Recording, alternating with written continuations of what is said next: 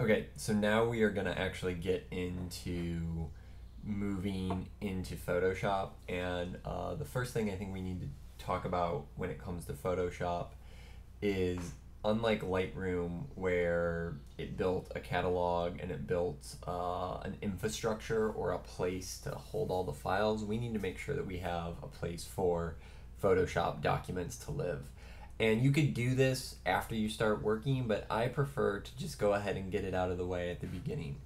Um, so if we navigate to my external hard drive and go into my demo tutor, uh, we go into photo, um, I went ahead and just made a edit Photoshop, and you would have seen that in a Macintosh OS X uh, setup tutorial video.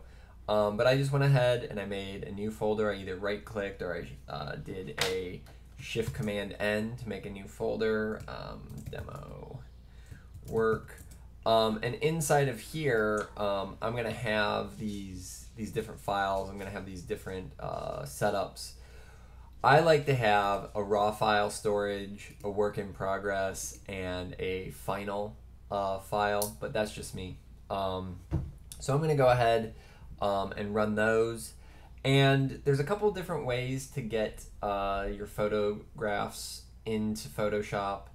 Uh, you could directly open them uh, from the desktop. You could do a whole host of things. Um,